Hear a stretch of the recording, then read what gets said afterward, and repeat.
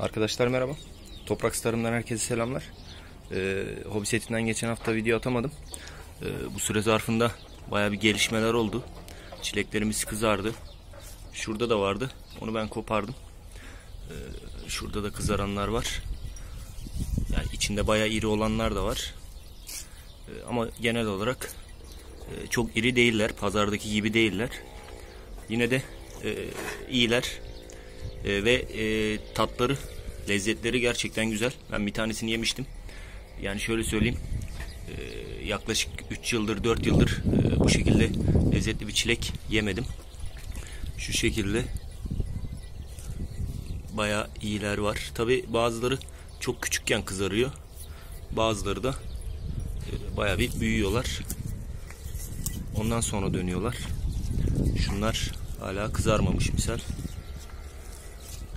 Şunlar hafiften kızarmaya başlamış. Şu şekilde. Ee, Baya bir verim var üst katta. Ee, alt katta bunlar çiçeklenmeye başladılar. Ee, ama bir kısmında var. Şunlar falan kopartılacak. Şu yapraklar temizlenecek. Büyük ihtimal o çıkacak. Çünkü verim yok onda. Bazıları da şu şekilde çiçekleniyor. Ee, e, şekilde soğana gelecek olursak soğan baya baya büyüdü. Hatta yapraklarından e, koparttık biraz. Yani şu şekilde soğanlar e, yaklaşık olarak dördüncü haftası olması lazım. Hatta şu şekilde kaçanlar da var. E, bunları bugün çıkartacağım.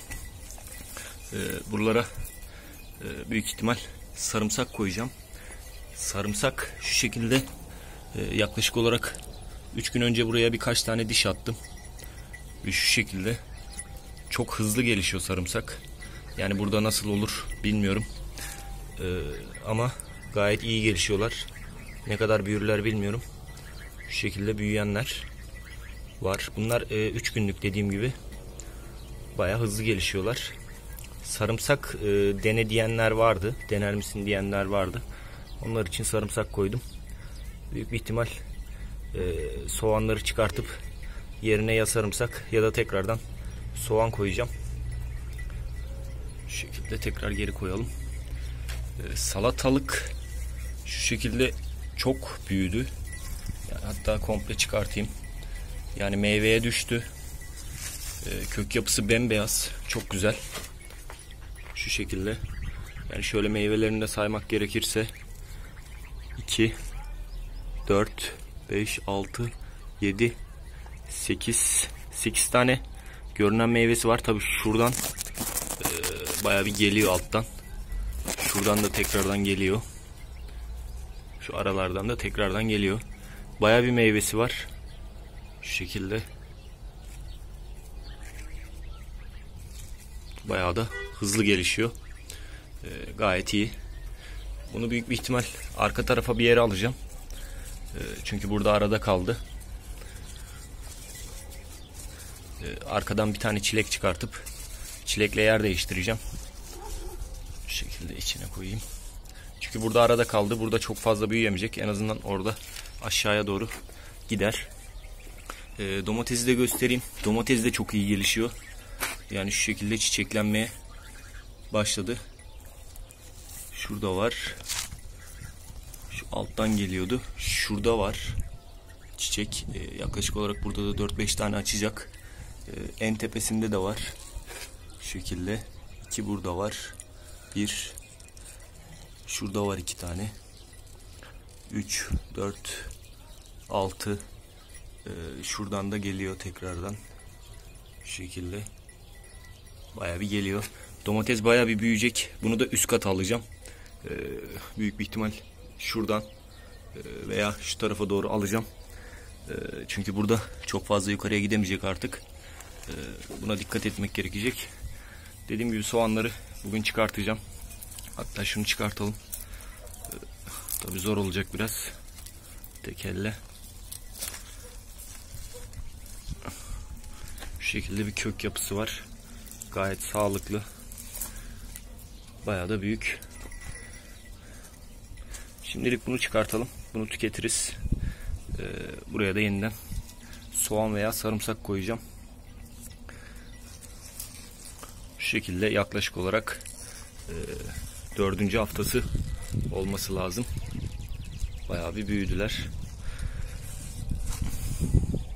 Şunlar kopacak. E, şu kuru yapraklar atılacak. Tabii çileklerin hepsinden verim beklememek gerekiyor. E, zaten üst katların hepsinde e, bayağı iyi bir verim var. E, alt katta zaten çiçeklerini kopardığımız için e, tekrardan yeni çiçekler geliyor. Şu şekilde. Ama üst kat daha verimli. E, normalde e, çiçeklerin kopartılması gerekiyor. E, okuduğum kaynaklarda o şekilde. Bulduğum kaynaklar o, yöndeydi. Ama üst kat e, kopartılmadan bile gayet iyi. Yani çok iri değil. Bu tabi çileğin cinsine de bağlı. Yani çok iri e, çilek yok. Yani pazarda satılan e, şu kadar olan çileklerden değil. Küçük ama hem çok verimli hem de çok lezzetli. Şu şekilde. Birazdan bunlardan kopartacağım. E, şunu kopartacağım. Bir de şunu kopartacağım. Bir iki gün içinde de şu kalanları kopartırım. Şunlar da büyük ihtimal 2-3 güne kızarırlar tamamen. Ee, buradan artık çilek yemeye başlayacağız. Ee, Tabi e, çok fazla değil. Kilo kilo çilek çıkmasa da e, her koparışta bir 4-5 e, tane çilek kopartacağım. Bu ilk aşama için. Tabi şuralar falan komple kızarmaya başlarsa birkaç avuç birkaç avuç şeklinde büyük ihtimal çilek çıkartacağız. Şuradakini koparmıştım ben. O baya bir kızarmıştı. Çok fazla büyümedi. Büyük bir ihtimal şundan da kaynaklanıyor. Bu sepet e, yukarıda. Bu sepet içeriye girmiş. E, verim o yüzden de düşük olabilir. Yani genelde sepeti dışında olanlarda verim çok yüksek. E, ama içinde kalanlar şunun gibi e, çok fazla verim yok. Şunun gibi.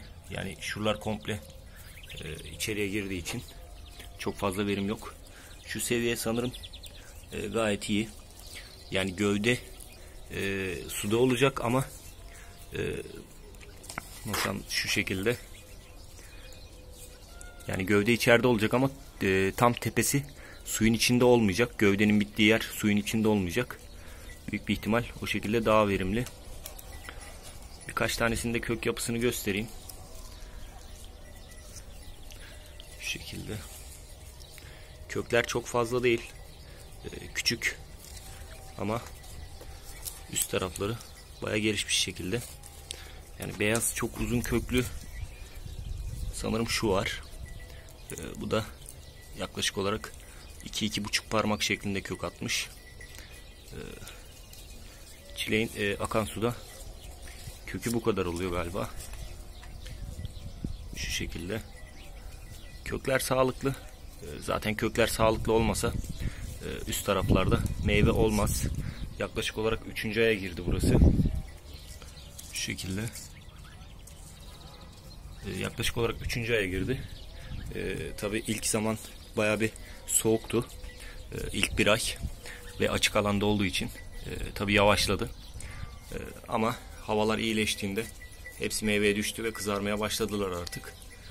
Dediğim gibi e, çok fazla büyük değiller. Yani şunlar falan ufak. Şunlar idare edilebilir şekilde. E, ama bu tabi çileğin cinsine de bağlı. Domateste dediğim gibi e, en sevdiğim bitkilerden bir tanesi oldu. Salatalık ve domates. Hatta çilekten bile bence daha iyi gelişiyorlar. Çok hızlı büyüyorlar.